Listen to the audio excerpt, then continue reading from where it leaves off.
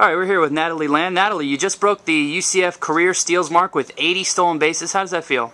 It feels good. I mean, actually, stolen or stealing bases and running bases is my favorite part of the game. So to be able to get that record and go in the record book, it feels amazing.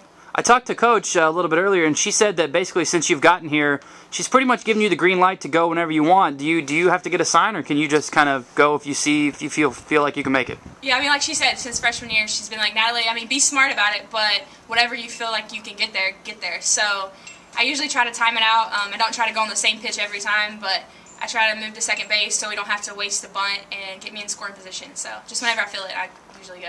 Now you've got 21 stolen bases this year. The single season record you actually already hold with 28. Do you think that you can break that this year? You got 21 games left. You would need nine more stolen bases. Do you think you can break that? Oh, I definitely think that's possible. Um, just have to get on base and then just keep stealing. Um, I mean, like I said, we have 20, 20 plus games left, so if I can just try to get on at least once a game, then I think that's possible. Now you seem to always slide head first. Have you ever slid feet first in your entire life? Actually, yeah, when I first got here, I never slid head, uh, head first until I got to UCF. And my freshman year, I, I slid in the fall, and I got a big like blood blister on my leg.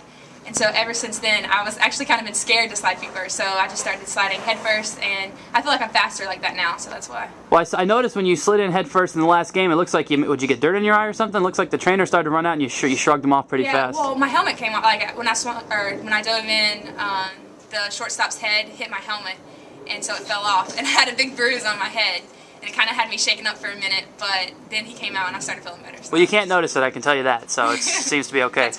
So you're at 80 steals. Like I said, you've got 21 regular season games left, maybe two or three tournament games, possibly some postseason. Do you think you can get to triple digits? That is definitely a goal. Um, like I said earlier, just have to keep taking one game at a time and trying to help out my team. And then if I just happen to get to 100, then that'll be great. All right, real quick, talk about East Carolina. They're coming in this weekend. You got three games against them.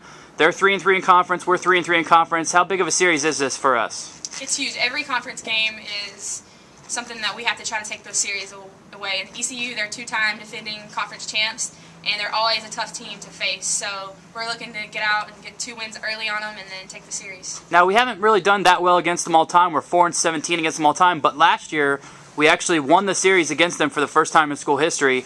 Do you think that maybe I know there's not a lot of players from last year's team, but yourself and Vanessa, who's just off camera here.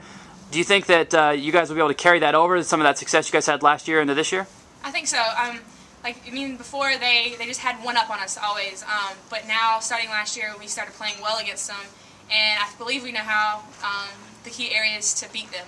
I mean, they're a great team, but we're also a great team. So we just have to feed off of the last year and feed off of this year of a winning and just get out and get two wins at least. All right, well, that's Natalie Land. She's the all time steals leader in UCF softball history. Thanks a lot, Natalie. Thank you.